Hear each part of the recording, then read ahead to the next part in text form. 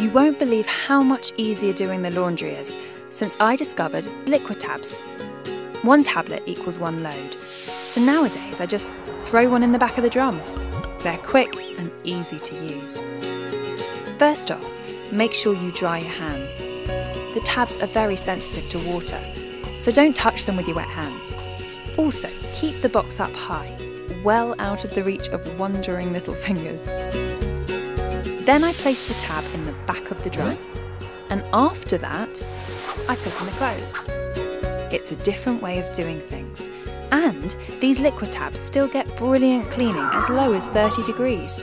So I start the wash and go make the most of my time.